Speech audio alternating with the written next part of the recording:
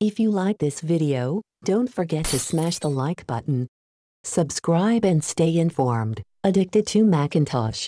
Hi, I will show you how to edit Smart Stack widgets on watchOS 10. Apple introduced watchOS 10, and it brings some of the biggest updates we've seen to watchOS in years. One of the reasons why it's worth installing watchOS 10 is the Smart Stack widget. Smart Stack widgets are a major focus in watchOS 10, with Apple offering a new smart stack of widgets that can be accessed by either swiping up or turning the digital crown. The Smart Stack displays widgets that are relevant to your day, and you can customize what's there too. The Smart Stack gives quick access to everything from activity and calendar to reminders, the music app, shortcuts, wallet, and workout. Keep in mind that there is a limit number of widgets that can be added on the stacks. It's that simple. Hope you enjoy this video. Have a nice day.